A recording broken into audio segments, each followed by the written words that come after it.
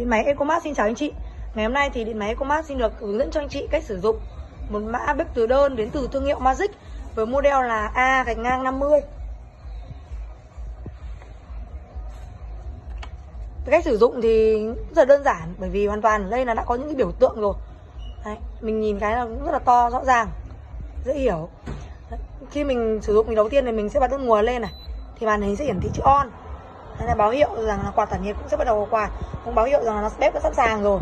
Khi mình nấu thì mình sẽ nhìn thấy có một cái nút này là function này. Nút function này có nghĩa là nút chức năng để mình chọn các cái món, các cái chế độ nấu sao cho phù hợp nhất. Ví dụ ở đây này. Ví dụ như em sẽ chọn là ăn lẩu là đầu tiên là nó sẽ nhảy luôn vào hotpot ăn lẩu. Đấy, tương tự như vậy, khi mình nấu các cái đồ khác thì mình cứ điều chỉnh theo cái function này thôi. Đây, nấu cháo này, hay là chiên rán này. Đấy, hay là các chức năng nấu súp hấp này đun nước này. Đấy. Các chức năng ninh nhừ hay là các chức năng nấu với nhiệt độ cao chiên xào rán đấy thì nó sẽ đều có ở cái hiển thị hết. Thì mỗi một cái chức năng này thì nó sẽ hiển thị một cái cái cái cái cái, cái, cái công mức công suất. Nhưng mình có thể điều chỉnh được nhé nghĩa là máy người ta sẽ để cái mức công suất tiêu chuẩn thôi. Còn mình điều chỉnh hay không là do mình mình có như cái bếp này thì công suất maximum của nó là 2.200W vì thế nên như ở chức năng này là mình không có tăng được nữa rồi. Mình chỉ có thể giảm thôi. Ví dụ như đây em sẽ giảm đi, thì cho anh chị nhìn thấy. Đó. Mỗi một lần giảm như này thì nó sẽ giảm đi cái công suất.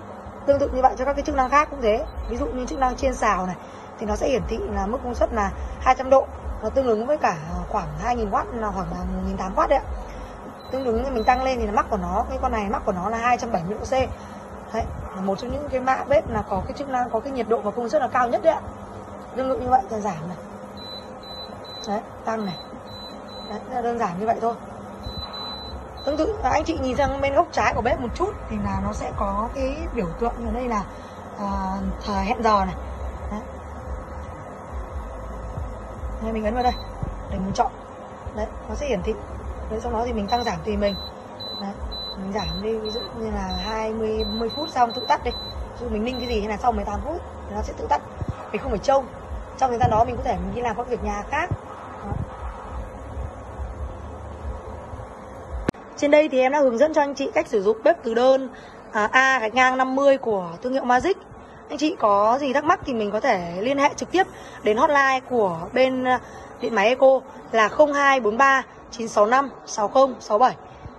Xin cảm ơn anh chị đã theo dõi video.